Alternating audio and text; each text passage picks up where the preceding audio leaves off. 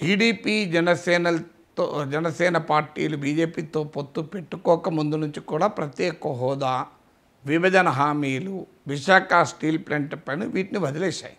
అడపాదడపా స్టేట్మెంట్లు ఇవ్వడం మినహా గత ఐదేళ్ళుగా చంద్రబాబు నాయుడు మోడీ పైన బీజేపీ పైన ధర్మ పోరాటాలు లేవు అధర్మ పోరాటాలు లేవు.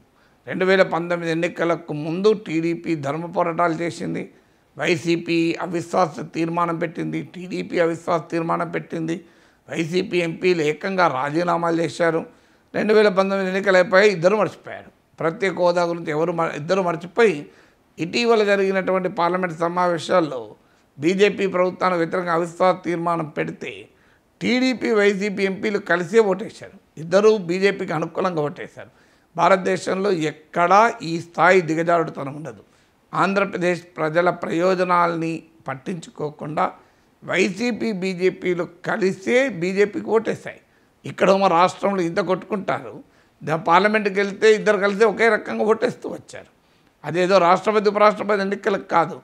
ఆఖరికి అవిశ్వాస తీర్మానంపై కూడా బీజేపీకి అనుకూలంగా వైసీపీ టీడీపీ పోటీపడి ఓటేసాయి ఈ రెండు పార్టీలు రెండు వేల పంతొమ్మిది ఎన్నికలకు ముందు పోటీపడి అవిశ్వాస తీర్మానం పెట్టాయి. అంటే రాజకీయ అవకాశవాదం తారస్థాయికి ఉంటుంది అనటానికి ఇది ఒక ఉదాహరణ.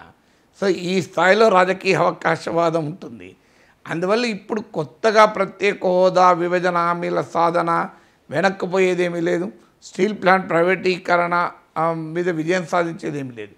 ప్రధాన పార్టీలు వైసీపీ టీడీపీ జనసేన ఆంధ్రప్రదేశ్ ప్రజల సమస్యలను వదిలేసి తమ స్వార్థ ప్రయోజనాల కొరకు తమ రాజకీయ ప్రయోజనాల కొరకు తమ వ్యక్తిగత భయాలతో బీజేపీతో కలుస్తుంటే ఇక రాష్ట్రము రాష్ట్ర ప్రజలు ఎక్కడిది ఇక మిగతా పార్టీలు ఒకవేళ అన్నా వాళ్ళకి ఆ బలము లేదు.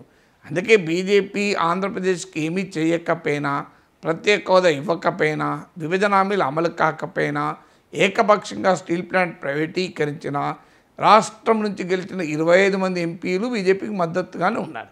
ఇప్పటిదాకా ఉన్నారు భవిష్యత్తులో కూడా బహుశా ఉంటారు.